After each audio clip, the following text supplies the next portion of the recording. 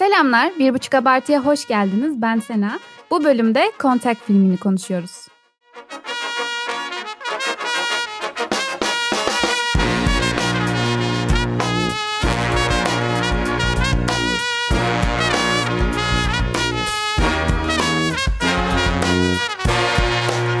Arkadaşlar hoş geldiniz. Yine tam kadro bir aradayız.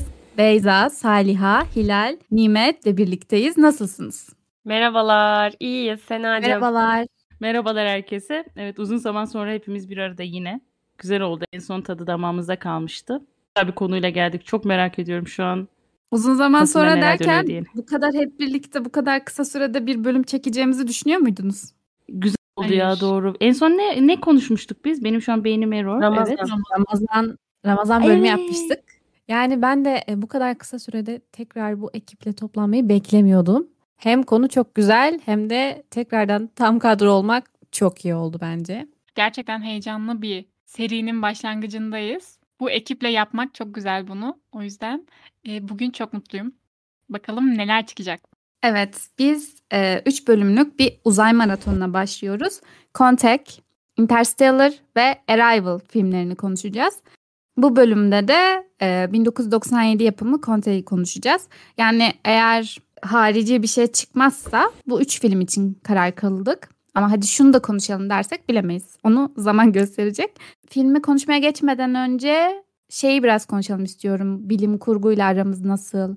Uzay konulu filmlerle aramız nasıl? Birazcık bence bahsedebiliriz. Bilim kurguya dair mesafeliydim yine biliyorsun benim böyle ön yargılarım. Ama e, sen böyle içeriği söyleyince e, favori filmlerin arasında Interstellar olunca ve konu da uzay zaman olgusu olunca bayılırım.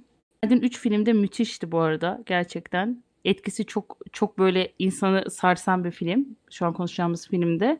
Seviyorum Sen ya. üçünü de izleyip mi geldin? Üçüne dair bir fikrim olsun istedim yani. Ara ara izlemektense böyle tak tak tak bir izleyeyim.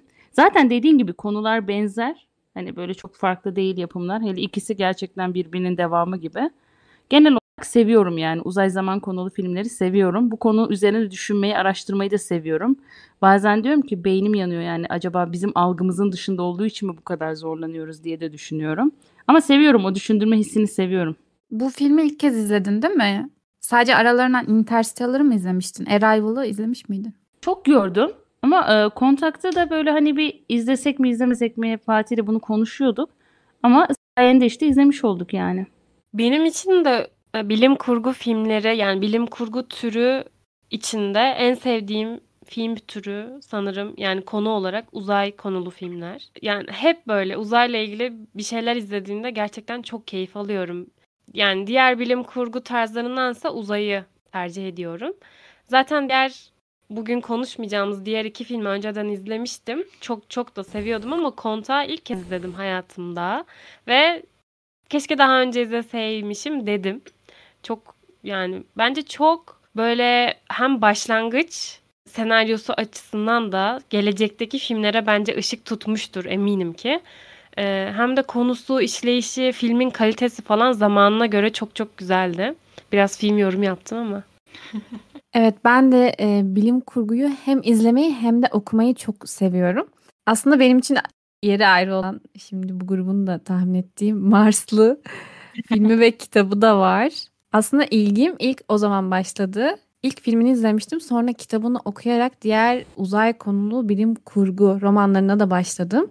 Ee, üzerine konuşmayı da ve araştırmayı ben de çok seviyorum. Yani gördüğüm zaman kitapları direkt ilgimi çekiyor. İlk bilim kurgu alanındaki uzay konulu kitaplar, filmler çok ilgimi çekiyor. Bugün o yüzden bu seriye başlamak beni çok heyecanlandırdı. Üç filmi de izledim daha öncesinde. Sonra tekrardan tabii ki bu bölüm için izlemiş olduk. Neler çıkacak gerçekten merak ediyorum. Evet, e, bilim kurgu benim de çok sevdiğim bir tür. Çocukluğumdan beri de uzayı, uzayla ilgili belgesel olsun, film olsun izlemeyi çok severim. O yüzden bu seriyi yapmak, ayrıca film serideki tüm filmlerde en böyle en güzel bilim kurgu ve uzay denince izlenmesi gereken, böyle akla gelen en güzel filmler olduğu için e, çok heyecanlıyım. Ben de ilk defa Kontakt'ı izledim. Bu kadar.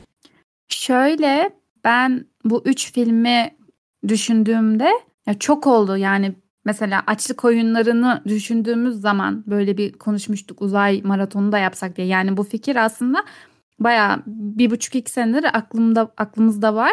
Yani bir şekilde aslında şey sanıyordum yani bu böyle kendi aramızda ya da benim için kişisel bir e, zevk sanıyordum. Sonra bu filmi araştırırken bu üç film herkes için bir dönüm noktası gibiymiş. Yani bu üç film e, mesela Contact konuşulurken Interstellar zaten çok konuşuluyor uzay filmleri arasında ama sonrasında biz nasıl mesela Arrival'ı ilk izlediğimizde çok etkilenmiştik ve sanki o bir dönüm noktası gibiydi. Bu böyle global bir şeymiş. Buna çok şaşırdım yani. Araştırma yaparken bu üç filmi gördüm hep. Çok iyi bir seçim yapmışız yani. Benim de yani ben de sizin dediğiniz gibi zaten çok keyifli bir alan bence. Çok keyifli bir kategori bilim kurgu. Küçüklükte de yani çok severdim. Bu Contact filmi de aslında ben düşününce bayağı olmuş izleyeli. Zaten bu filmle biraz benim de uzay filmlerine de bakış açımı değiştiren film bu oldu sanırım biraz. Şeyi hatırlıyorum en eski bu TNT'de Kanal Türk'te falan filmler çıkardı ya. Orada Tom Hanks'in bir filmi vardı Apollo 13 diye. İlk uzay filmi olarak onu hatırlıyorum. İşte astronotlar uzaya gidiyor ve dünyaya nasıl geri dönecekler, dönebilecekler mi diye. Televizyonda ilk onu izledim hatırlıyorum. O beni böyle gerim gerim gelmişti. Nasıl dönecekler ilk kez öyle bir şey izlemiştim. Çok etkilenmiştim. Çok sevmiştim ama sonra hani yaşım da küçüktü yani. Sonra lise zamanına denk geliyor. Bir hocamız bu filmi bana önermişti Conte'yi. Yani izledikten sonra benim zaten sinemaya karşı falan da bakış açımı değiştirmişti. Yani bu film gerçekten çok kültmüş. O zaman bu kadar kült olduğunu da bilmiyordum. Filmi konuşurken de bahsederiz. Çok zamansız, çok her yaştan insanın da seveceği bir film gerçekten. Yani o lise zamanında izlerken de bu filmden bir şeyler çıkartıp çok sevmiştim. Şimdi izlediğimde de çok farklı şeyler çıkarttım. Yine çok güzeldi yani. İşte lisede bu filmi izledikten sonra esas böyle uzay filmlere, filmlerine, bilim kurgu, uzay konu şeylere çok böyle ayrı bir merakım olmuştu. Bu film böyle o yüzden başlattı gibi bir şey oldu. Sonra bu filmden sonra bu Interstellar'lar işte Marslı sonrasında Passenger yani diğer uzay filmleri falan böyle takip ettik yani. Benimki de böyleydi. Bu film de yani gerçekten şey sadece bilim kurgu olarak değil yani böyle en sevdiğim filmler arasında bu Letterboxd'ımda yani o dört favori filmimin arasında bu vardı. O zaman filmin konusuna geçebiliriz. Filmi konuşmaya başlayabiliriz isterseniz gecikmeden. Filmimiz ne anlatıyor? Konusu nedir? E, Contact'in e, ben kitap uyarlaması olduğunu bilmiyordum yani ilk izlediğimde. Sonra sıfır e, bilgiyle başladım sonra araştırdım. 1985'te yayınlanan e, Carl Sagan mıydı Aynen onun e, kitabının uyarlaması zaten filme de katkısı var bildiğim kadarıyla adamın. Film de 1997 yapımı. Bu da beni çok şaşırttı bu arada. Siz izlerken 97 vibe aldınız mı bilmiyorum. Çok güncele çok yakındı yani film. Bana o etkiyi verdi. Eli ve babasının diyaloğu üzerinden başlıyor işte e, uzay e, hakkında ne bileyim yıldızlar hakkında bilgi sahibi olmak isteyen bir çocuğun hikayesiymiş gibi bize yansıtılıyor ilk. Hatta ilk böyle e, babasıyla o sohbetleri çok hoşuma gitmişti. O yer israfı dediğin diyaloğu az sonra geliriz. Sonra tabii e, Ellen'in babasını da kaybetmesiyle büyüdükten sonra kendini tamamen uzay bilimine adamasıyla başlayan bir hikaye.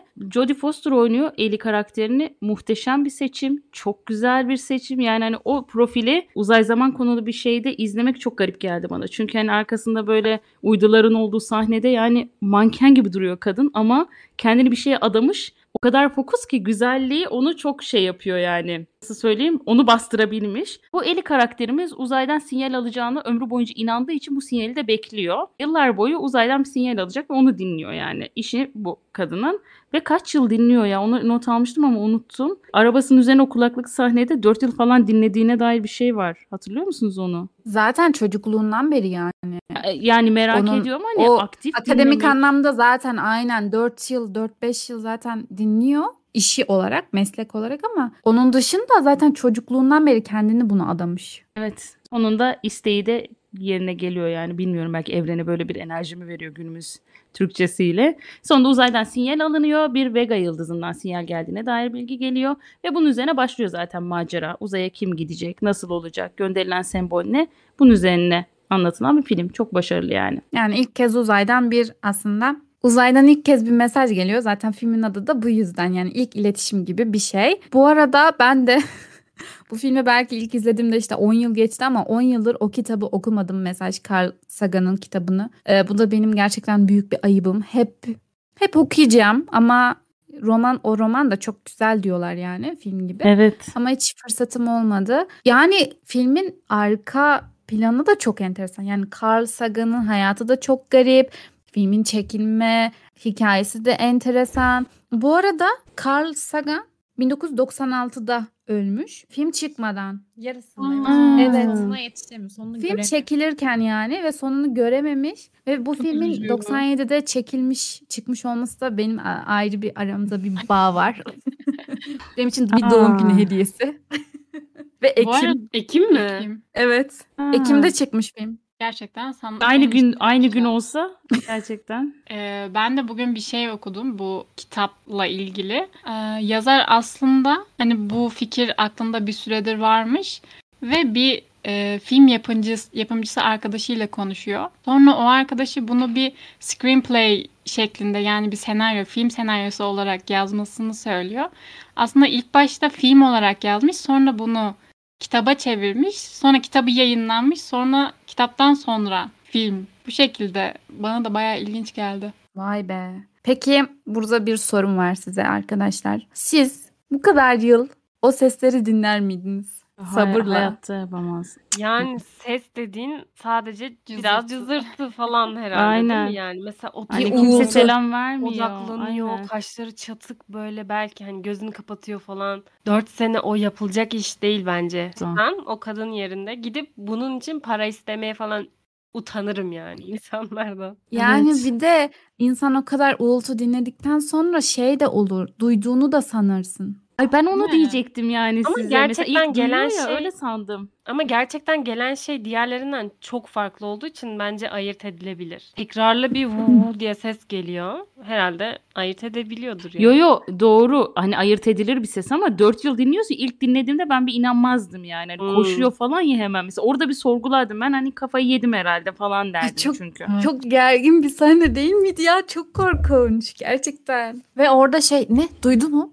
Ben, ben yani duymak istiyorum. Ben de duymak istiyorum gibi bir şey oluyorsun o an. Hangi ses? Nasıl bir ses? Uğultu devam ediyor ama yine çok küçük bir ayrıntı ama o sürekli dinlediği için fark ediyor. Yani gerçekten çok küçük bir farklılık. O an sen de fark etmeye çalışıyorsun, odaklanıyorsun filmi izlerken. Ama o Ben, insanın kulağıyla duyacağı bir sesten ziyade makinelerin yakaladığı Evet. bir frekans olduğu için e, kadın yani ondan emin bir şekilde koşuyor etrafa sağa sola diye düşündüm ben izlerken. Çok iyi sahneydi sanki ben, Ben de böyle şey hani hazine bulmuş gibi oldum. E bu e, sinyal sesi geliyor sonra bu koşa koşa ofisin olduğu Hı. yere işte merkeze gidiyor ya.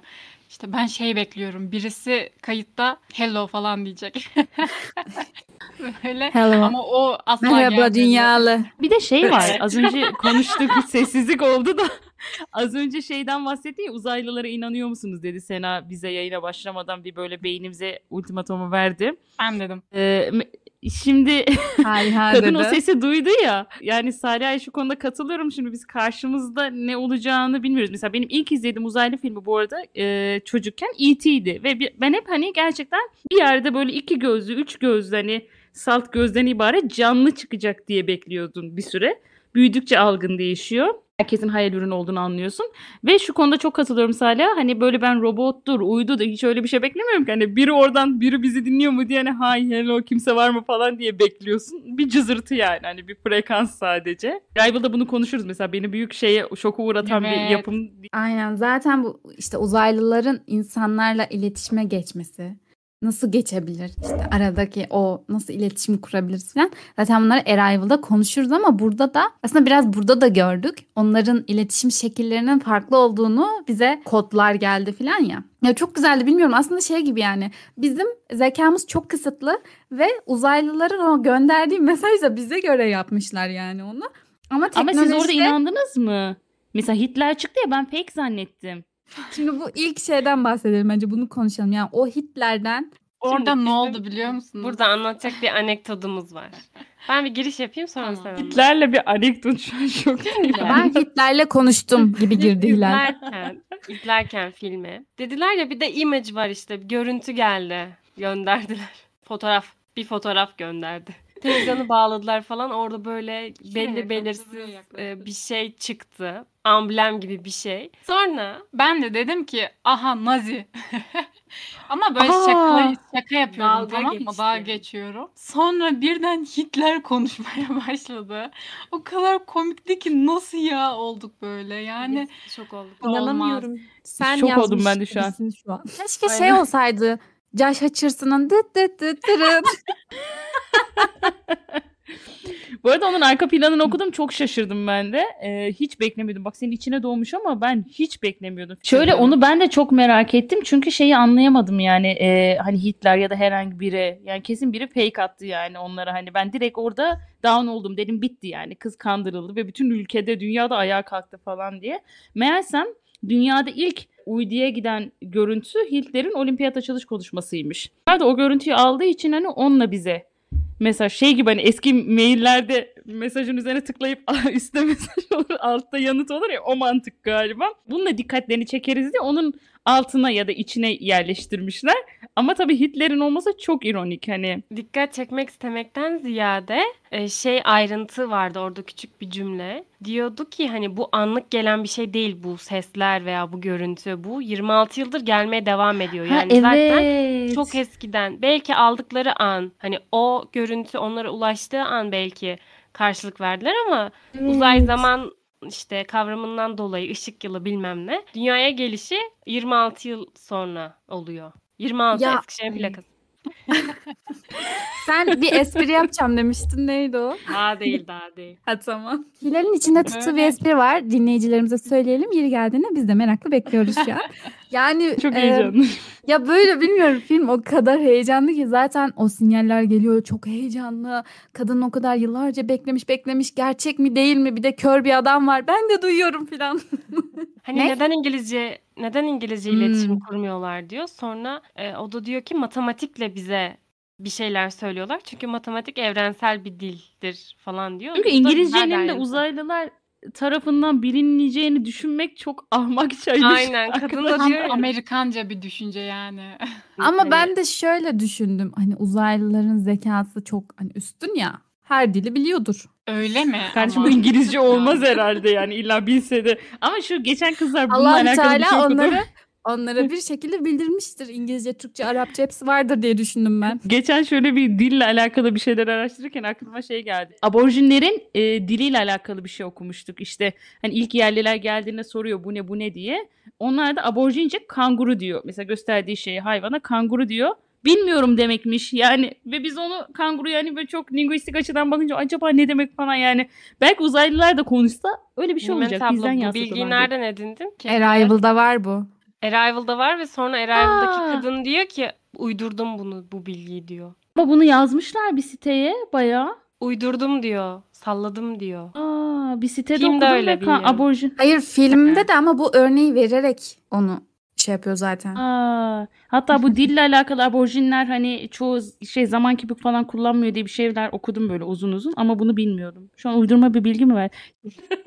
Hayır uydurma değil. kes. Böyle bir bilgi var ve bu bilgi Arrival'da da kullanıldı. Yani senin Hayır bu bilgiyi öyle değil Ha, işte. Karıştırıyorsun. bu Arrival'da bilgi sadece Arrival'da geçmiyor ki. Ben de filme göre söylüyorum. Arrival'da kadın bunu anlatıyor. Sonra diyor ki o söylediği adamlar gidince salladım diyor. Uydurdum, kandırdım onları Bunu diyor. nerede anlatıyor Hilal? Filmin içinde yani dakika söyleyemeyeceğim ama. Hayır, Yok o acaba. salladım dediği şey kendisi ha, o hikaye için mi salladım diyor diyorsun.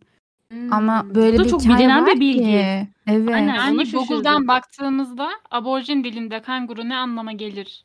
Aborjin dilinde anlamıyorum anlamındadır diyor. Bilmiyorum kadın öyle diyordu. Neyse izleyince görürüz bir daha. Aynen izleyince bakalım. Neyse aynen. Bir an şey oldum ya yanlış bilgi veriyorum zannettim ama ben de çok duydum bu efsaneyi. Bir de burada şey yerlilerle alakalı böyle hikayeler çok dönüyor kelimeler.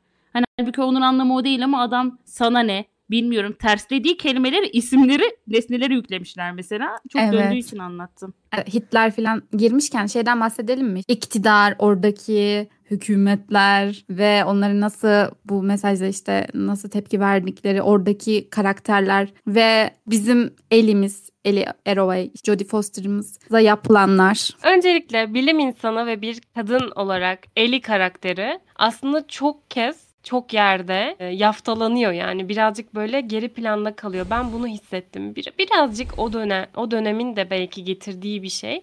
E, kadın üzerinde bir cinsiyetçilik var. Yani şeyin adı neydi? Drumlin. O birazcık daha böyle e, bu işin marka yüzü gibi olup hani insanlarla konuşuyor. Hatta o şey sahnesinde kürsüye çıkıp konuşma yapılacağı bu halka basın açıklaması yapılan yerde Eli davet edileceğini düşünerek hazırlanıyordu ve o anda o Dremlin'i çağırıyorlardı. O sahne mesela çok kırıcıydı yani. Orada tam olarak gördüm evet. Dışlanıyor yani kadın. Ama bütün fikrin, bütün projenin aslında fikir babası kendisi. Bayağı üzüldüm yani Eli karakterine. Üzüldüm orada duygusal anlamda bir bağ kurdum kendisiyle. Hükümetle alakalıysa yani klasik Amerikan hükümeti böyle milli savunma mı? Ne o? Bir adam vardı ya. Onun böyle halleri falan. Ben bütün Amerika'yı korumakla sorumluyum. Şöyle böyle. Yani tabii bir yerde de haklı. Sonuçta hiç bilmediğin bir türle bir kontak kuruyorsun. iletişim halindesin. Sana zarar mı verecek? Sana dostane mi yaklaşacak bilemezsin. Bundan dolayı bir e, savunmaya geçme düşüncesi hani düşünülünce mantıksız değil.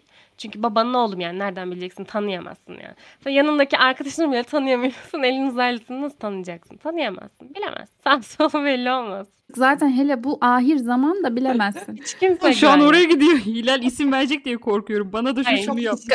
Ahir zaman zor. Ee, o yüzden sinirimi bozsa da çok hak vermez durumda değildim açıkçası. En azından inşa etme, o aracı inşa etme aşamalarına destek oldular. Fon sağladılar. Ee, güzel de reklamını yaptılar. Ama klasik Amerikan hükümetiydi yani benim gözümde. Sadece kadın olduğu için bence elinin dışlandığını düşünmüyorum. Şimdi o dönemde ki hala öyle bence günümüzde tabii ama e, bazı kabul e, görülme değerleri var toplumda ve Eli hem ateist hem kadın hem de yani parası yok birileri destek olacak hani finansör tabii ki de öne çıkmak isteyecek bunları anlayabiliyorum. Günümüzde olsa böyle olur muydu sanmıyorum. Evet kadın olmasının da etkisi vardır ama salt kadın diye değil yani. Hani mesela orada ben çok Müslümanım ya da ben çok Hristiyanım falan bir şey inanıyor olsa yine okey olacaklardı. Yani Tanrı inancı da çok etkilemiş mesela ona da şaşırdım. Hükümet kısmında da yani şu an öyle bir şey olsa aynı şeyleri yaşayabileceğimizi düşünüyorum. Tüm dünya ülkeleri olarak. Yani böyle uzay konulu filmlerde hep böyle hani birileriyle temasa geçince herkes bir böyle şey oluyor yani bir dakika düşman geliyor. Yani hep bir düşman algısı var. Herkes kendini savunmak istiyor. Herkes bir ya bir sakin olun diyesin geliyor hani filmde. Bir oturun bir konuşun belki öyle değildir falan ama yok Çin ayrı devreye giriyor.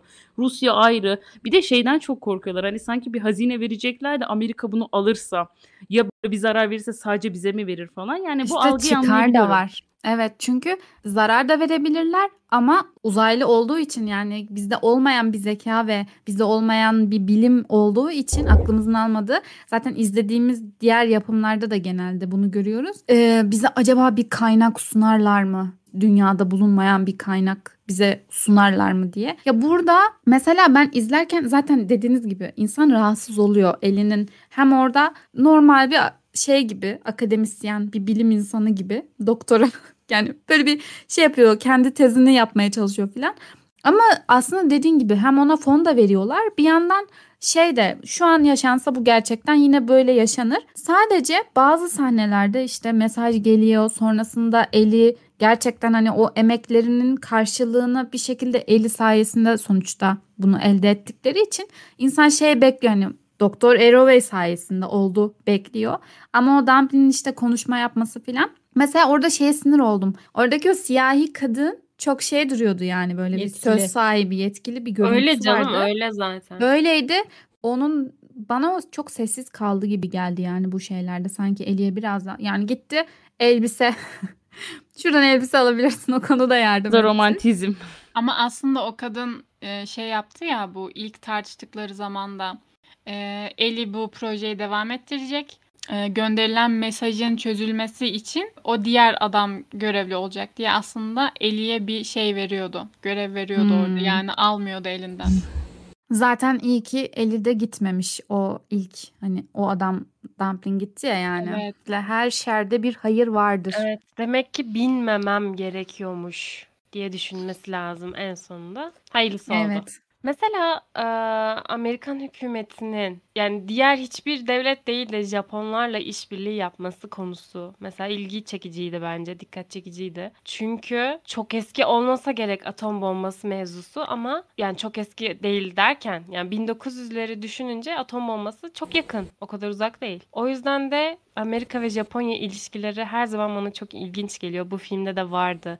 Ve bunlar kasıtlı yapılıyor yani bilerek. Tuhaf bayağı. Onların Tuhaf. peki e, düşmanlık ya da kin gütmek yerine gelişmesi bana daha tuhaf geliyor. Tüm dünyadan intikam almak yerine adamlar gelişiyor yani. Bu da bambaşka bir konu gerçekten. Hani bize olsa Allah korusun bize böyle bir şey olsa biz bunun ne yasını tutup ne küfürler ne bayrak yakmalar ne eylemler. Kinlerini hala çok sıcak yani tutuyorlar ama şey olarak güçlenelim. Bu yöne Ee, doğru yöne kanalize etmişler Aynen. işte yani. Yoksa hala çocuklarına atom bombası ile ilgili tarih direkt yani çok küçüklükten eğitiyorlar filan. Gerçekten enteresan aslında Amerika'nın E, fark etmen güzel. Doğru. Bir de tüm bunlar olurken tabii filmimizde dediğin gibi yani Ellie Arroway ateist filmde çok ön planda olan din mevzusu var ve bunu bence muhteşem bir şekilde ele almış. Gerçekten bunu da e, işte şimdi bahsederiz. Palmer karakteri var. Eski rahip. Bazı sebeplerden ötürü ilahiyat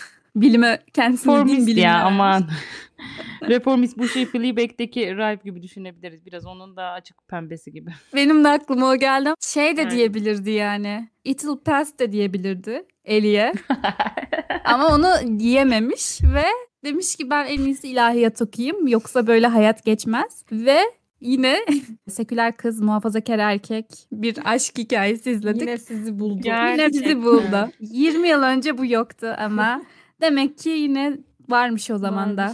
Tuhaf bir çiftti bence. Fikirsel anlamda böyle farklı olup duygusal anlamda birleşebilmek. Aslında farklı değildi bu, bana kalırsa. Aslında ikisi de ya Ya burada biri o inançlı, biri inançsız Evet, yani. evet, Farktan evet. kastım bu.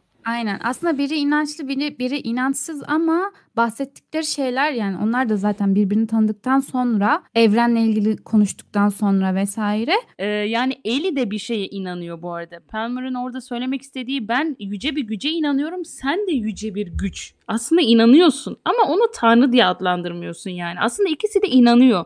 Hele Ellie'nin o hani gidip böyle bir gidip geldikten sonra ışığı gördükten sonra diyeyim az sonra değiniriz oraya da. Yani Şefkat oradaki tokadı. yani orada mesela ben bir kelime-i şehadet artık neye inanırsan yani orada gerçekten inandı bir şeye. Zaten inanıp da döndü. Belki Orada aslında Müslüman oldu da haberi yok.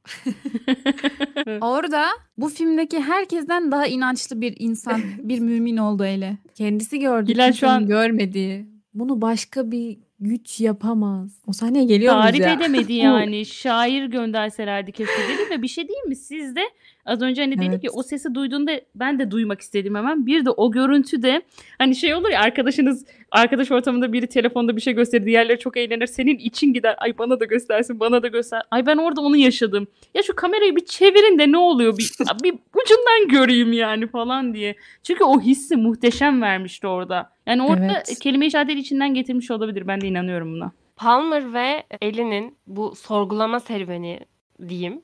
Şöyleydi başlarda. Hani Nimet abla sen dedin ya işte ben yüce bir güce inanıyorum. Aslında senin de inandığın yüce bir şey var diye böyle bir mesaj veriyor Palmer ona. Ama Ellie'nin aslında görmediği, gözden kaçırdığı kısım her zaman bir ispat aramasıydı. Yani ispatla diyordu Tanrı'nın varlığını o zaman bana ispatla. Orada böyle bir ikisi birbirine anlaşamadıkları kısım o kısımdı. Hani çok fazla bilimsel ve materyalist düşünmesi Ellie'nin ve tam tersi inanç konularını biraz daha kalpte veya işte bazen de görmediğin, sadece hissettiğin şeylerde olması. O yüzden şimdi espri yapıyorum. İzlerken direkt şunu düşün. Çok heyecanlıyım. Ne ne gelecek acaba? Ben de Güp umarım güp. güleriz Hilal. Çok beklenti yüksek. İzlerken direkt aklıma şu geldi. Hatice Kübra Tongar'ın internet nerede yavrum? demesi. Anne Allah nerede? İnternet nerede? dediği O mimiklerle şu an çok iyi. çok aklıma e, oturdu yani izlerken onunla bağdaştırdım. Elinin Bence- küçüklüğüne yapsaydı ya o eli çocukken. Bence ana fikir buydu. İnternet nerede? Bölümün başlığını bu mu video- yapalım? İnternet filmin- nerede yavrum? Filmin Orada- sonunda buna ulaşmadık mı ama? Kesinlikle. Hadi Bak, eli gösterse nerede uzay dediler. Aynen sonunda. Aynen. Video çok itici ya haberiniz olsun. Film daha güzel Evet ya. anlatmış kesinlikle. O videoda bir soğuyorsun yani o mimiklerle. Zaten e, filmde bunu dediğin gibi full bunu gösteriyor. Zaten Ellie'nin bu babasını kurtaramaması o sahneyi de ayna sahnesinde konuşmadık bu arada. Ellie'nin e, orada bile aslında rasyonel bir şekilde ben geciktiğim için babam öldü demesi yani böyle bir sonuç varması. Sonrasında hayatı boyunca bu şekilde yaşamış. Zaten sonrasında hep bilime verdiği için kendisini ateist olmuş ve her şey somut şeyler, gördüğümüz şeyler vardır ve e, işte ruhani şeyler yoktur gibisine bir kafa yapısında yani. Ya bu filmin sonunda da zaten ve bu e, Matthew McConaughey'in onunla olan sahneleri, konuşmaları, Matthew'un işte yani Palmer'ın onu ikna etmeye çalışması filan. Bu arada o adam da çok yakışıklıydı yani ben Çok gözümü alamadım. yakışıklıydı. Ay. Nimet evli olarak aramızda konuşamıyor. İyi bir insana benziyor. Allah versin iyi insanlar. Ama yani izlerken ben sürekli şeyim yani Beyza ile izliyoruz sürekli böyle izliyorum ya. Çok yakışıklı. Ben ilk romantik komedide izlemiştim daha eski bir yapımda. Siz de Çok bilirsiniz. iyi. Bilim kurguya yatay geçişi ve pot durmaması güzel. yani e, Yunan heykeli gibi. Neyse daha fazla betimlemeyeyim. Onun olan muhabbetleri, işte Ellen'in çocukken yaşadığı o tecrübeler vesaire. Sonrasında ya gerçekten o kadar bir de bu e, şeyin de fikrinde o kadar iddialı ki Eli. Yani ateistliğinde, tanrı konusunda, din konusunda, inanç konusunda aşırı da iddialı. Yani onu uzaya gönderecekler bu arada buraya da gelelim. Mahkeme sahnesi gibi bir toplantı odası. Orada Palmer'ın işte Tanrı'ya inanıyor musunuz?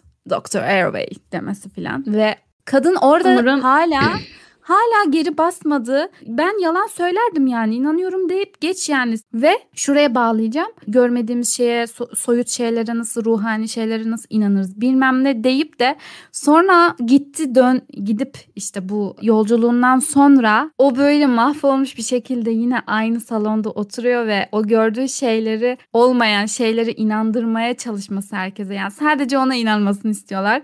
Yani daha birkaç gün önce hayatına olmayan ve çok karşı çıktığı bir şeyi çok aciz bir şekilde o duruma düştü ya. Çok sert bir şekilde ispatlayın. O zaman ispatlayın diye kaç kere o mahkeme salonunda böyle sordular ama ispatlayamadı. Eli'nin tek bir kusuru vardı. O da her şeye mantıklı cevap aramasıydı ama Eli şunu bilmiyordu. Bu dünyadan her şeyin cevabı yok arkadaşlar. Bilimde de bu var yani.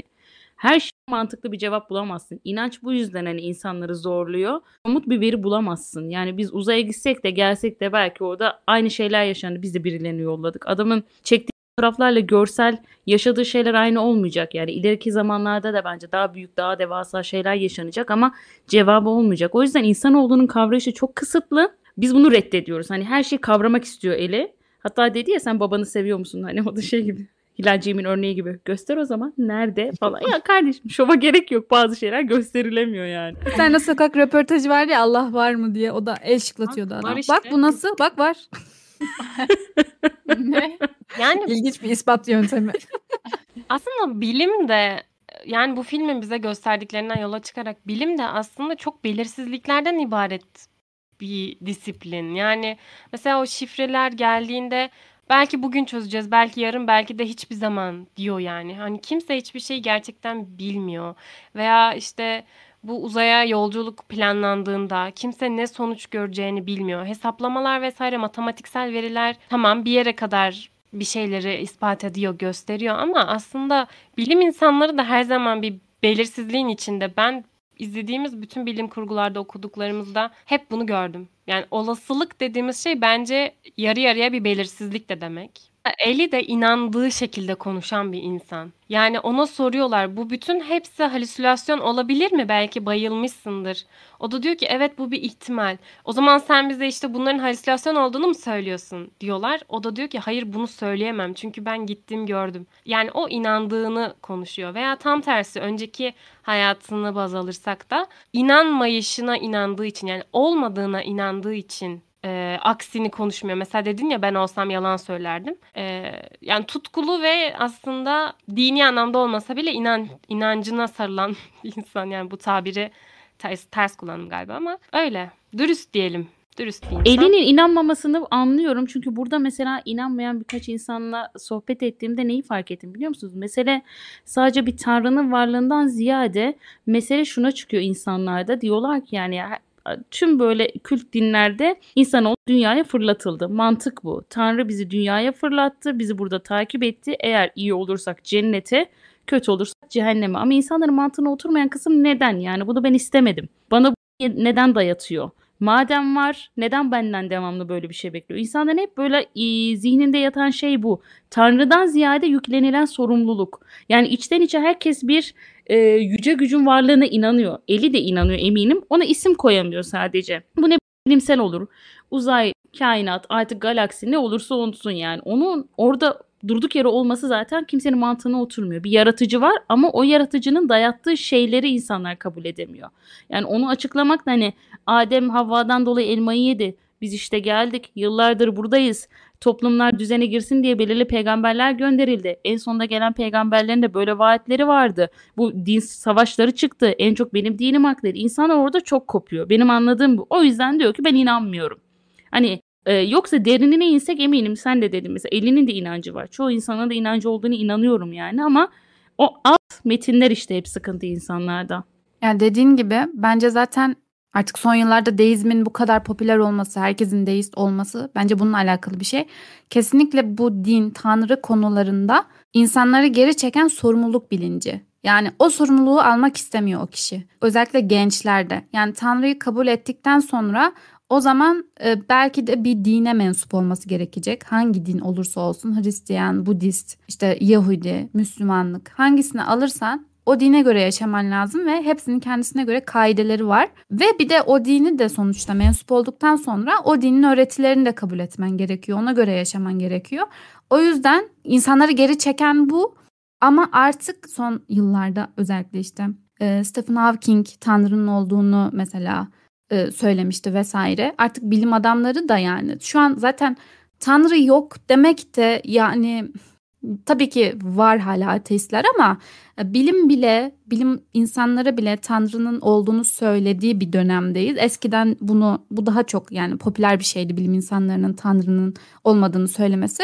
Ama artık bilim insanları bile işte bir yaratıcı var şeklinde konuştukları için e, o yüzden halkta şey oldu yani alt tabaka şey gibi artık yani tanrı yok demek de bilime karşı gelmek gibi oldu yani. Çünkü bilim de bunu şey yaptığı için savunduğu için o yüzden deistik yani tanrı bizi yarattı ve tamam hiçbir sorumluluğumuz yok. En güzel kaçış yolu oldu diye düşünüyorum yani.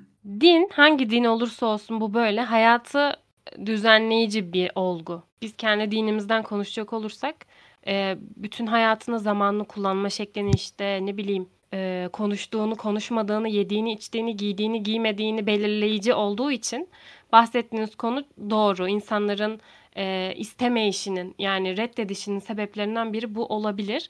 Zaten arayış içinde olan insanlar sonradan bir dine mensup olma ihtiyacı hissediyorlar. Çünkü aslında e, bu işte din niye var? dini sorumluluklar niye var sorusundan ziyade din olmazsa hayat nasıl olur sorusu sorulduğunda insanlar kabullenebiliyorlar. Din olmadığında mesela ıı, sevgili arkadaşlar bir insana dininize çağırmak istiyorsanız o din olmadığında hayatın nasıl olduğunu o insana gösterir bir resim çizerseniz o zaman o insanın dini kabul edişi daha kolay olabilir diye ben şu an böyle bir yorum yapıyorum. Bu filmde de bence şeyi çok güzel gösteriyor. Hani bilim Ellie'nin böyle iki kere iki dört diye büyümesi ve öyle düşünmesi ama sonra o yolculuğunda buraya bir şair gelmeliydi demesi aslında bilimin o kadar da matematikten ya da bu kadar somutluktan oluşmadığını çok güzel gösterdi. Yani aslında çok sanatlı, çok duygusal bir şey evren olarak gösterdiler ya o yıldızlar kayıyor, ya muhteşem bir görsel şölen var. Onu da çok güzel yansıtmışlar gerçekten. Yani bu evrenin yaratılışı, Allah'ın ne kadar nizami bir şekilde yaratması ve hani bir tanrı yoksa bunlar nasıl olabilir? Ya çok basit yani. Şimdi kurduğum cümleler çok hani çok basic kaçtı ama yani gerçekten el yani çok aslında basit bir şeyi kendi gözleriyle gördü. Ve o sahnede bu arada bir buraya bir şair gelmeliydi sahnesinde. Benim de aklıma şey geldi. Bir film daha var ya Passenger. Her meslekten e, insanları uzaya götürüyorlardı ve işte Jennifer Lawrence'ın karakteri de yazardı. Güzel. Okey, onu da bir ara sıkıştırırız. Bu arada Eli oraya gidiyor ve sadece görmüyor. Ee, küçükken çizdiği resmin e, görselinde bir yerde buluyor kendini. Benim aklıma orada şey geldi. Uzaylı Ha. diye nitelendirebileceğimiz ya da artık kaç boyutlu canlıysam onu babası cisminde görüyor. Hani onu korkutmak istemediği için tanıdık bir simayla geliyor. Bana bu bizim dinimizde Azrail mitolojisinde hani kişinin sevdiği şeklinde görünecek ve canını öyle alacak şeyini Hmm. getirdi aklıma nedense. Öyle bağdaştırdım. Babası şeklinde görmesi, orada sohbet etmeleri, kum tanelerini eline alması ve gerçekten onu hissetmesi falan sanki uzay değil de biraz o zamansal bir yolculuk yaptı gibi ya. Yani bilemiyorum. Çok onun gerçekten açıklaması yok yani. Onu bilimsel de açıklayamazsın. Şimdi o kız o cihazın içine girdi bir yere de gitmedi. Ne yaptı yani orada diyorsun hani zamanlar arası hani bu beşinci boyutu falan görme da zamanın mekanlaşması mı? Yani bambaşka şeyler yaşanıyor orada gerçekten. Onu bence kendi hiçbir zamanda anlatamayacak. Yani onu ben böyle yaşadım, şöyle yaşadım. Hani deli gibi bakarlar gözüne biliyor Ama musun? Ben orada bir zaman kırılması, orada bir zaman kırılması oldu ve boyutlar arası bir geçiş yaptı. Çünkü bunu nereden anlıyoruz? En sonunda o sekreterle o milli savunma adam onlar konuşurlarken dedi ki Milli savunma adam. dedi ki ama dedi Eli'ye takılı 18 kamera saat. 18 saat kayıt yapmış dedi. Yani 18 dakika demiyor mu ya orada? Saat mi diyor, dakika Saat. diyor? Ellinin ben o yolculuğunu yaptığı olarak anladım yani. Çünkü o yaptıkları e, circle var ya e, uzay Hı. aracı diyeyim yani. Onu gelen teknolojiyle yaptıkları için yani o, o teknoloji de bizim aslında aklımızın kavrayamayacağı bir teknoloji. Onların teknolojisinde bir şey. O yüzden yani o 18 saatlik aslında yaşandı ama biz göremedik. Yani oradaki insanlar buna şahit olamadı. Çünkü bizim teknolojimizde öyle bir şey yok. Yani eli gitti geldi. hatta, hatta mesela onların gönderdiği talimatlara göre yapılması gerekiyor. Eli hatta diyor ya işte insanlar işte koltuk eklemişler, şunu eklemişler, bunu Evet. eklemişler. Eli diyor ki olduğu gibi yapsaydık ya. Sonra ama hani kendilerinden bir şeyler eklemişler ne olur ne olmaz diye. Ve o yolculuk esnasında insan insanların eklediği şeyler arızaya sebep oluyordu yani. O koltuk yerinden çıkıyordu. Kadın Ay titriyor evet. ya. Sarsılıyor ya aslında koltuk yüzündenmiş. Çünkü koltuktan ayrıldığında titreşim hissetmiyordu yani. Normal rahat rahat bir yolculuk seyahat edecekmiş kadın. Ama koltuk yani. Sonra o koltuk yerinden çıktı işte tavana çarptı. Peki koltuk kesildi falan. Her şey daha mı net olacaktı? Benim de kafamda bu soru işareti kaldı. Her şey koltuk mu bozdu acaba yani? Yo netlik değil de rahatlık olarak düşündüm ben. Yani böyle titre, titreşim oldu ya Hı. kadında bir sarsıntı. Yani Düştü bayıldı falan teknolojisinde irtibat koptu ya. O kopardı zaten O bence. bayağıdır yoktu. Hiç olmadı ki o. O 18 saat ya da o diğer dünyada kalanların gözüyle o bir saniye boyunca bütün irtibat kopmuştu zaten. Bu arada bu elinin yaşadığını biz e, alim ulemaların yaşadığı hikayelere çok benzetiyoruz. Yani benzetiyoruzdur değil mi arkadaşlar? Hani bu darül mekan olayları farklı yerlerde aynı anda bulunma. Biz alışığız. Tabii onlar yabancıladı bu durum ama bize mesela ben hani Erbakan'ın hikayeleriyle büyüdüm. Babam sağ olsun. Aynı anda Bosna'da olduğuna dair bir sürü rivayet falan. Yani bunlar boş şeyler değil. Biz cihazsız yaşadık. Onlar illa cihaz kurdu. Yani bize yabancı değil. Biz bilirik. Zamanı Yani yok bizde. Miraç hadisesi en basiti. Daha ne diyeyim. Evet. Geçen bunu arkadaşlarla konuşuyoruz. Yani Miraç acaba hangi gezegen oldu? Şimdi bak bilim insanı öyle bir yöne sürüklüyor ki ve Kur'an-ı Kerim buraya geçmek istiyorum ben buradan. Böyle şeyler izleyince istemsizce siz yapıyor musunuz bilmiyorum ama Kur'an-ı Kerim'de denk gelen ayeti bulmaya çalışıyorum. Çünkü illaki vardır yani. illaki. Hatta bazen böyle arkadaşlarımla konuşunca diyorum ki yani Kur'an-ı Kerim öyle müthiş bir kitap ki ama biz o kadar kısıtlı bir noktasını almışız ve bize dayatılanı uyguluyoruz ki Hani ahirette inşallah bize gülmezler. Yani biz size neler söyledik orada ve siz sadece şuna mı takıldınız? Hani bize hep dört eş soruluyor. Yani kardeşim mesela o değil falan diye. Kur'an-ı Kerim ayetleriyle denkleştirmeye çalışıyorum. Ee, bu hani kainat, gezegen, büyüdü. Hani buna dair rivayetler var. Gerçi Kur'an-ı Kerim'de hani başka gezegenlere gidemeyeceğimize dair çok net bir şey de var. Hani siz isteseniz de gidemeyeceksiniz gibi şeyler, rivayetler. Ee, yani çok şaşırıyorum gerçekten. Bu konuda da araştırma yaptığımda e, güzel şeyler buldum ama tabii tefsir ilmi var şimdi. Bizim okuduğumuzla başkalarının yorumladığı aynı olmuyor. Yani ben başka okuyorum. Mesela uzaylı var mı falan diye ben çok araştırıyorum. Siz yaptınız mı bunu bilmiyorum ama. Allah'ım uzaylı var mı? Hayır uzaylı ile alakalı şeyler mesela bir ayet buluyorum heyecanlanıyorum Hilal. Şey diyor hani göklerdeki ve yerde, yerdeki şeyler canlılar göklerdeki mi? Yani sonra Fatih diyor ki cin cin. Bu e, şeye bu arada dedin ya Eli'nin küçükken çizdiği o şey adası. Ne unuttum. O çizdiği e, kıyıya gitmesi yani bu yolculuğunda ve sonrasında babasıyla muhab yani o konuşmaları babasının e, şeklinde gözükmesi Eli'ye.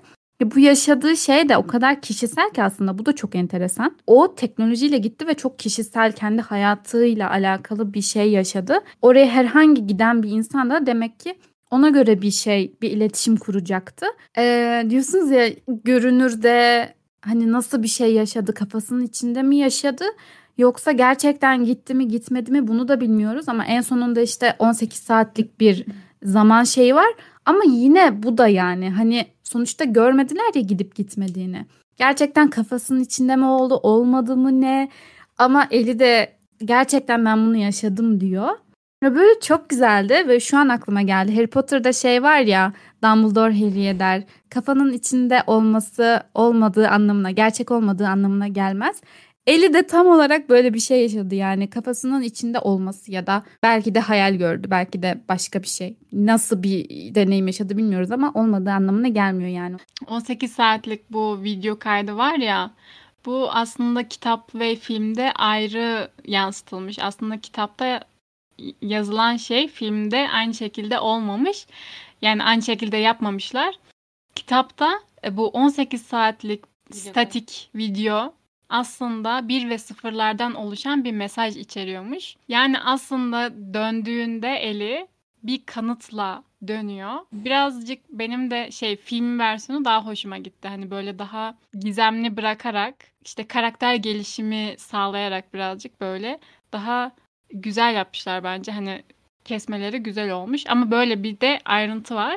Aslında gerçekten yani bir kanıtla dönüyor. Hiçbir şey eli boş dönmüyor yani. E, ben de şey söyleyecektim az önce. Devamı olsa dedim keşke. Yani devamını görebilsem ya da ikinci bir film gibi. Var devamı Interstellar. Adam yaşlanıyor. Aynen. O Aynen. Orada başka bir gün. Aynen.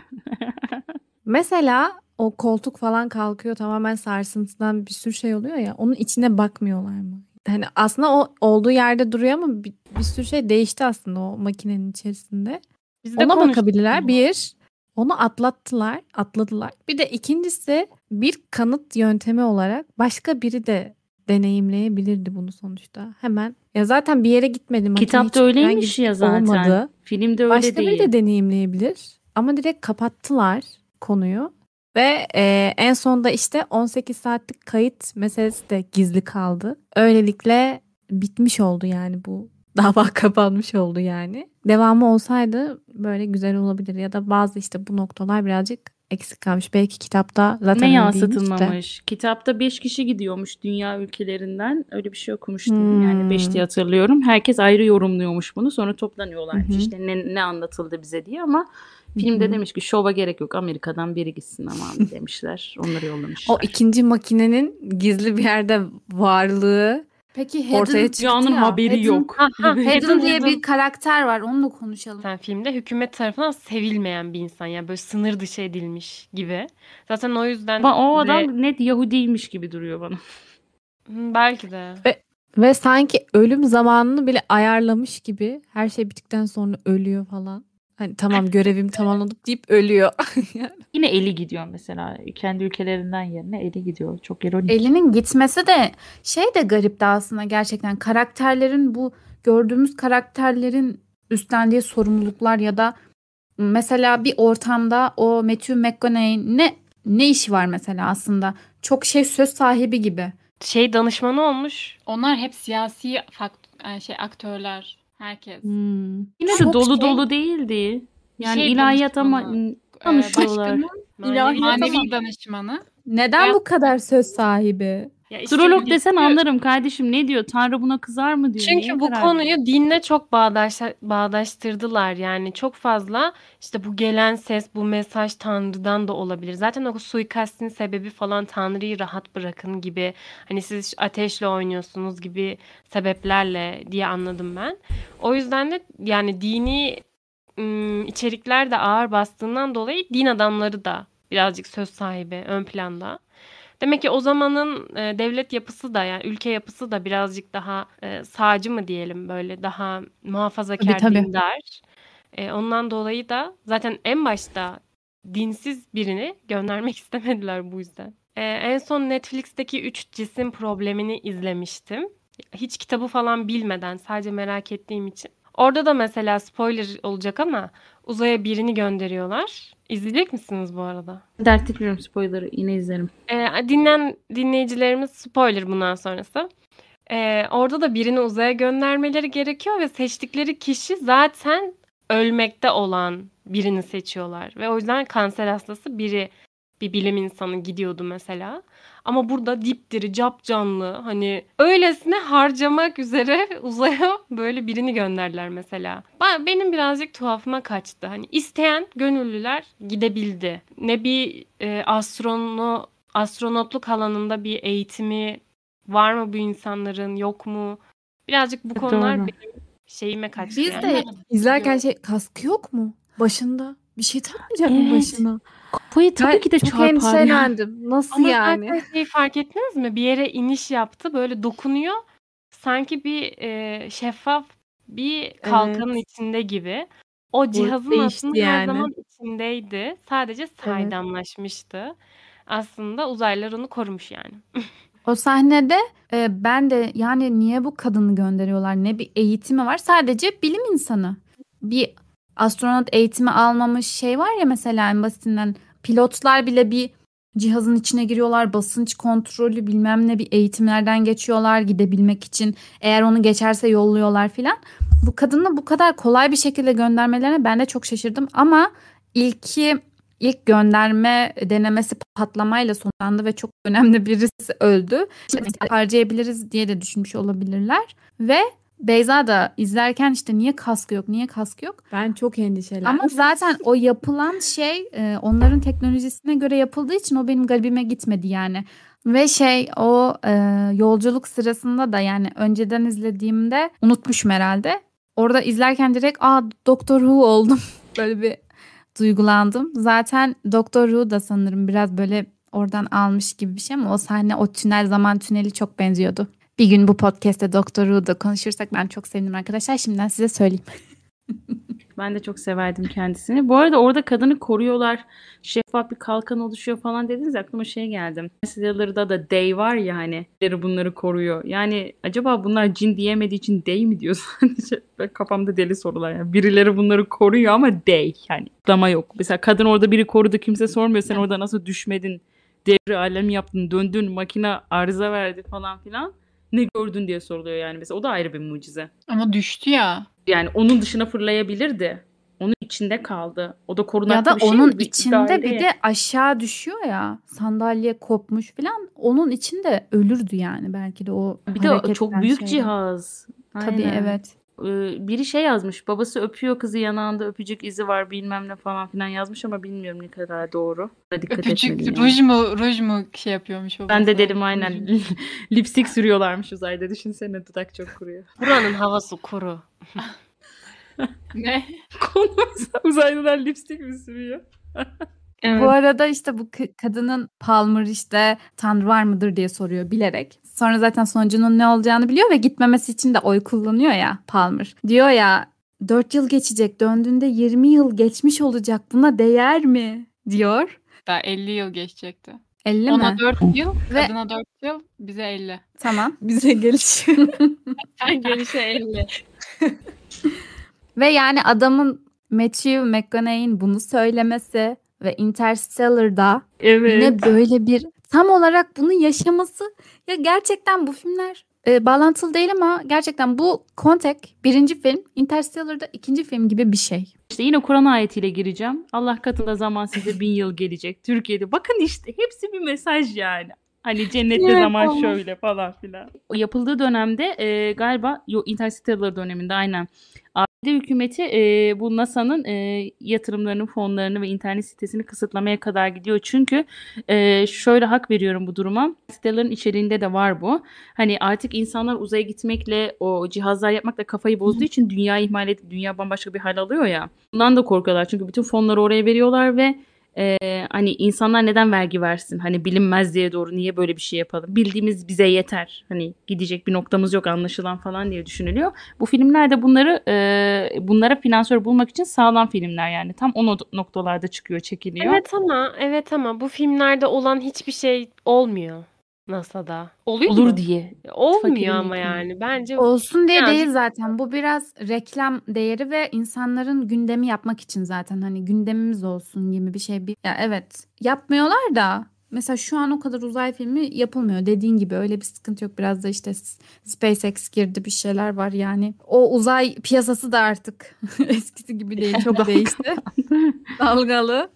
Bir ara yine böyle çok fazla işte. film çıkmıştı işte Gravity sonra e, Brad Pitt'in oynadığı o film sonra Arrival bunların hepsi de aslında arda arda yıllarda çıktı. Yine çok böyle zengin Hmm. bir uzay filmi dönemi vardı ama bayağıdır yok. gerek duymuyorlar aynen. Yeterince para topluyorlar. Ama NASA'ya mesela Türkiye'den iş başvurusu falan çok fazla biliyorsunuz değil mi? Güzel alımlar da yapıyor bu arada. Bizim ülkemizde de açıldı bu uzay tarz? bilimleriyle alakalı bölüm. Şöyle Evet, e, matematik senin gerekmiyorsa Podcaster. gerekiyor. Keşke. hiç matematiğin Editör. bir alan yok mu? Benim tanıdığım bir iki kişi başvurdu ve güzel takip ediyorlar. Onların sınavları var tabii ki de çok iyi derecede İngilizce bilmen lazım. Harici çok bir şey aramadıklarını biliyorum Hilal biliyor musun? Sınavları var. Gidip İngilizce meraklı mi? olman Tamam. yetiyor. Alanın Meraklı önemli. Sosyoloğum. Güzel iletişim kurabilirim uzaylılarla. Ya, ya işin esprisi bir tarafa güzel insanlar topladılar. Bizim ülkemizden giden de çok var ve hala talep eden falan Hmm. oluyor yani. Şu an aklıma şey geldi. Bir ara belirli aralıklarla tweet atıyordum. NASA beni hala işe almadı diye Hilal hatırlıyor musun? E sen de NASA ile ilgili bir kitap yaz. Belki sen Bayağıdır atmıyorum. Aslında zamanında yapmıştım şeyi. Kurdun ama kendini tazelemen lazım. Tabii doğru. Evet o, o zaman yavaştan sona gelebiliriz. Ha, ayna sahnesini konuşmadık hakikaten. Evet. Ben daha önceden bu film izlemeden önce o sahneyi işte müthiş bir çekim falan diye görmüştüm evet. Sonra izleyince "Ah!" dedim hani bu arada Elinin küçüklüğünü oynayan kız kim? Evet. Melon. Açlık Twilight. oyunlarından. Melon kim Bir ya? dakika. Twilight mı? Ay Joanna pardon o Interstellar'dı. Çok Melon kim be? affedersiniz. Oradaki küçük kız da Twilight'ta oynuyordu ya sonra tamam. Ha ha doğru Yanlış aynen. O hatırladım. Enas Interstellar. sen hangi ismi söyledin bir daha söyler misin? Jenna Me- Melon dedim ben. Kadın gerçek adı mı o? Ben gerçek adını bilmiyordum. Joanna Mason dedim de ben de hani sen Joanna Melon mu dedin? O bizim için öyle olduğu için.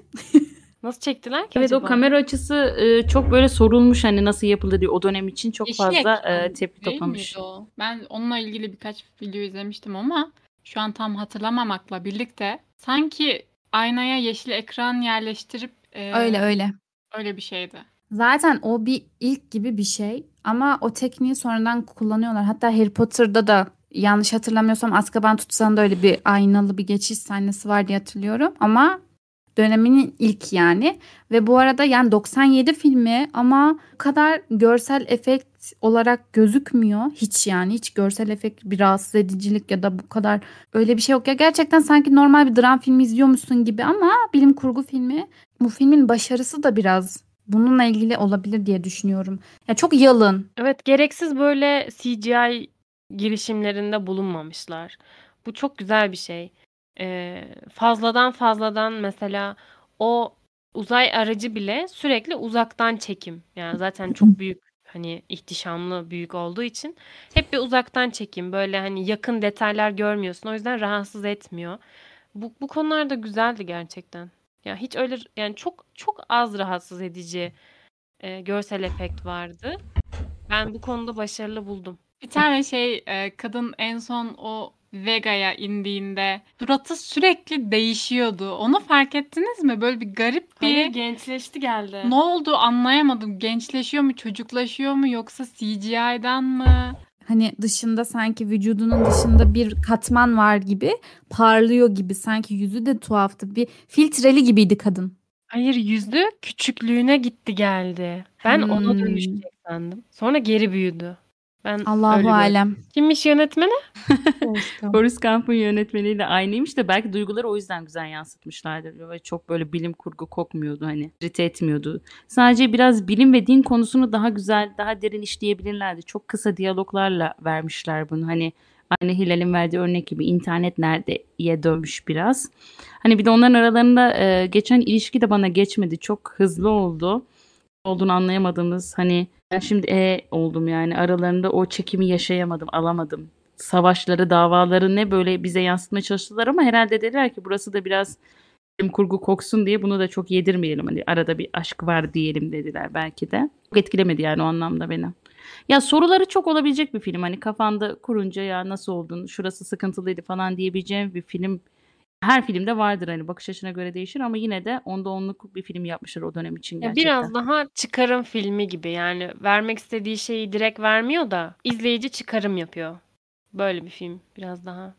Güzel o Evet. yüzden ben böyle filmleri daha çok seviyorum yani bakış açısına göre değişebilen farklı yorumlanabilen filmleri, kitapları da. O yüzden çok seviyorum bence daha kaliteli oluyor. Bir de bu filmin bu kadar çok e, bizi etkili yani izleyicileri etkilemesinin sebeplerinden biri de bilim kurgular. Yani bilim kurgu filmlerinde şey olabiliyor. Üç gün içinde bir keşif oluyor. Sonra e, bir hafta sonra hemen onun çalışması başlıyor gibi. Ama bu süreç çok uzun. Bu arada film süresi de epey uzun. iki buçuk saatlikti diye hatırlıyorum. Yani hem çocukluğundan süre gelen bir dinleme serüveni var. Yani keşif bulma serüveni var. Yani kaç yıl boyunca dinliyor.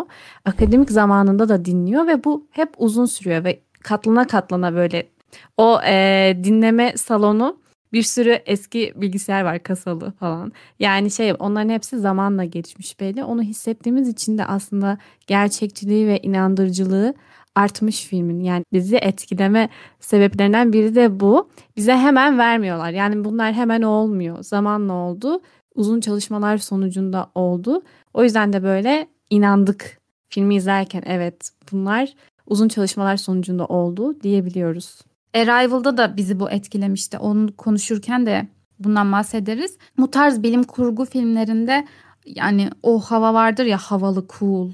işte dediğin gibi birden olur her şey filan. Öyle değil de daha böyle gerçek hayattan, gerçek hayatta böyle bir mesaj gelseydi nasıl davranılırdı onu güzel gösterdiğini düşünüyorum. Yani hatta bu filmin de Interstellar'la bu kadar karşılaştırıp şimdi uzay filmi, bilim kurgu filmi denince artık akla Interstellar geliyor ya. Ama çoğu insan da bu Conte'yi Interstellar'dan çok daha beğeniyor. Çok daha derinlikli buluyor. Sebebinin de bu olduğunu düşünüyorum. Daha yalın, daha sade ve daha gerçekçi bir şekilde bir bilim kurgu olmasının sebebi olabilir. Bu filmin bu kadar değerli ve eskimemesi. Umarım yarın bir gün böyle bir şey yaşadığımızda filmlerde insanlar çok zekice davranıyor. Ben ona hayran oluyorum. Bilgisayarlar, hemen teoriler, gözü görmeyen adam hissediyor.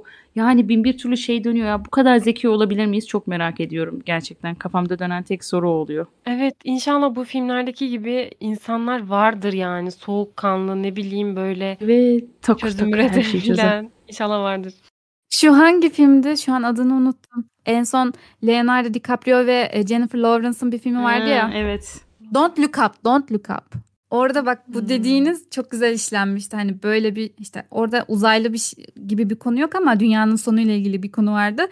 İnşallah akıllı insanlar vardır dediğimiz yazık varlar ama halk o kadar şey ki yani orada Leonardo DiCaprio'nun şey anksiyete geçirmesi sonumuz geldi anlamıyor musunuz biz ne yapıyoruz falan diye böyle İşte sorun bu yani. yemesi. Herkes çok akıllı filmlerde. Herkes anlıyor. Evet, evet. Yani Orada- sanmıyorum. Aynen orada bunu güzel göstermişlerdi. İzlemeyen söyle, herkese bu filmi mutlaka öneriyorum. Bence çok çok beğeneceksiniz. Özellikle bilim kurgu ve uzay konulu filmlere ilgisi olanlar veya merak edenler, bir başlangıç yapmak isteyenler Kontak filmiyle kesinlikle başlayabilirler. Bence başlamalılar da.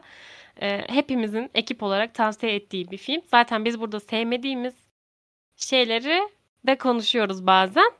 Ama ama bunu sevdik yani gerçekten. Teşekkür ediyorum bu tavsiyeden dolayı. Ekibimize de bu güzel sohbetten dolayı çok teşekkür ediyorum. E ben bu filmi böyle izleyince daha realistik bir uzaylı filmi anlatımı olarak gördüm. Hani diğer başka e, eğer uzaylılar dünyaya gelse ve onlarla bir temas halinde olsak filmleri hep çekiliyor ama bu filmler böyle şey e, daha şaşalı daha böyle fantastik anlatıya sahip filmler oluyor. Bu böyle gerçeklikle bu temasa kadar olan süreç, bu temastaki işte toplumsal e, grupların, işte iktidarların veya dinin nasıl tutum ve görüşleri veya nasıl etkiliyorlar böyle şeyleri içine alması çok güzeldi. Böyle şey gibi e, bir biyografi filmi izliyormuşuz gibi aslında. Hani Oppenheimer'ın uzayla uğraşan hali gibi böyle en sonunda mahkeme bile oluyor böyle falan. Hani gerçekten böyle düşününce eğer ilk defa uzay dışı bir temas kurulsaydı bu şekilde olurdu gibi. Her şey böyle işlerdi gibi sanki. Hani ama birazcık daha siyasi olarak daha gizli saklı yapılırdı. Ben düşünmüyorum ki hani uzaydan bir bir mesaj gelecek. Ertesi gün tüm dünya duyacak. O yüzden ben de filmi çok gerçekçi buldum. Böyle gayet güzeldi. E, karakter gelişimleri de çok hoştu. Eski olduğu belli olmayan bir film. Yani ben öyle filmleri izlemekte biraz zorlanıyorum. Ama bu gayet güzeldi. 480'de izledik ama gayet güzeldi. yani filmi ben de çok beğendim. Ee, bu kategoride filmler izlemek çok hoşuma gidiyor. Devamında da çok güzel filmler yorumlayacağız inşallah. Ee, benim dediğim gibi favorim Interstellar'dı. Öncesinde bunu izlemek iyi oldu. Devam filmi gibi olmuş. Deneyimlemek istediğim anlar çok oldu. En azından hayal ettiriyorlar. Güzel bir şey yani. Hani böyle kainatı düşünüyorsun. Zerre kadar bir etkin olup olmadığını düşünüyorsun.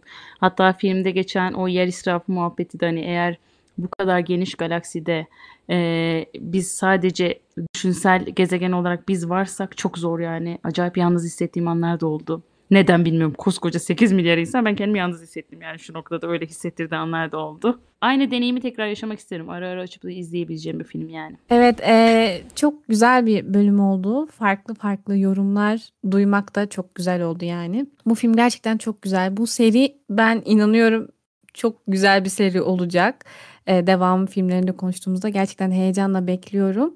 E, Kontak filmi çok e, yani bayağı oldu izleyeli. Tekrardan izlemiş ve farklı yönlerden de bakmış olduk. Herkesin yorumu çok güzeldi. Teşekkür ediyoruz. Evet sevgili dinleyicilerimiz. Sizi de bu maratona davet ediyoruz bizimle birlikte. Bu bölümde Konte'ye konuşmuş hmm. olduk. İkinci filmimiz bundan yani peş peşe çekeceğiz.